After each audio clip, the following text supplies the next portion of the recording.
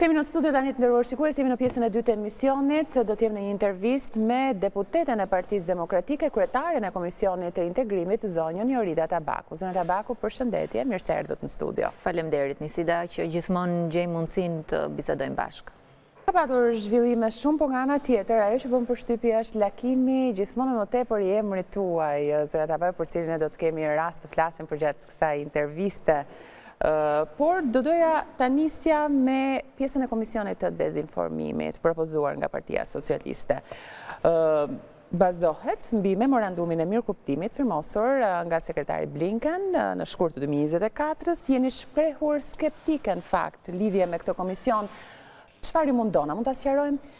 Shiko, mua më vjen shumë keq kur partnerët ndërkombëtarë dhe në mënyrë të veçantë Shtetet e Bashkuara të Amerikës, që për Shqipërinë ka një peshë tjetër, përdoren për justifikim.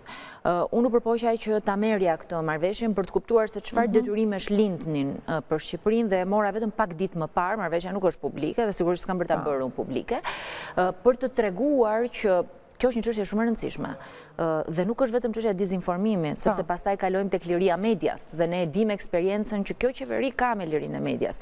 Po kjo është një çështje më e gjerë që lidhet me influencat e huaja, lidhet me keqinformimin, lidhet me shumë elementë dhe hapja e një komisioni parlamentar që do të ketë një mandat deri ditën e zgjedhjeve është diçka shumë e rrezikshme. Kam kërkuar së pari të ketë gjithëpërfshirje, së dyti të mos bëhet me nxitim dhe së treti po them dhe ato që thashë në parlament, ka pas boll komisione qesharake të njëanshme parlamenti, nuk na duhet një tjetër. Këtë çështje nuk duhet ta trajtojmë politikisht dhe nuk duhet të jetë politike. por duhet të jetë një çështje që duhet t'i bashkojë të gjitha palët për shqetësimin që ka influencat e huaja në Shqipëri.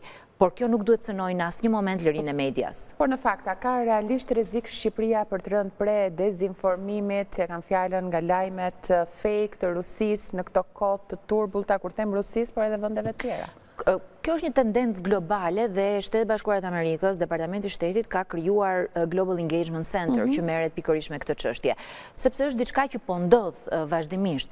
Por unë këto i kërkova kolegëve socialistë. A kemi ne informacion për Shqipërinë? sepse është miratuar një rezolutë para 4 po vitesh. A kemi informacion nga SHISH-i, nga AMA, që kjo ka ndodhur, dhe në qoftë se ky informacion ekziston, kjo duhet të ndahet me të gjithë deputetët, po, sepse është një shqetësim që i përket Shqipërisë, jo politikës dhe politizimit.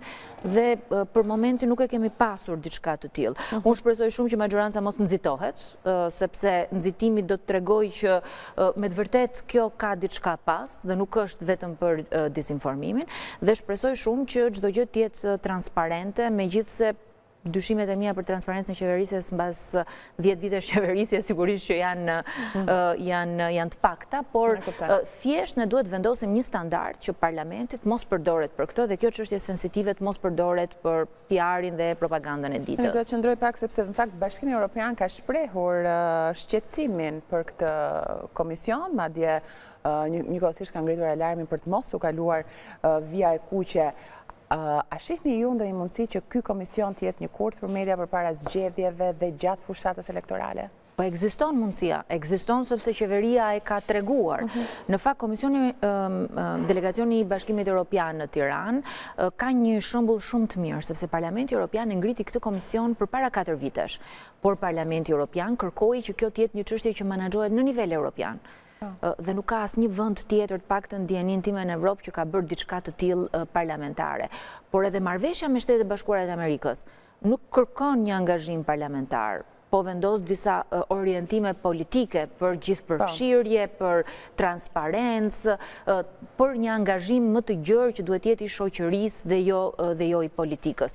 Kështu që unë i bashkëndaj shqetësimet që ka shprehur ambasadori dhe, dhe delegacioni, Duke pas parasysh që kam ndjek me shumë interes edhe paketën antishpifje pak vite më parë. Po, dhe pikërisht a është kjo një formë.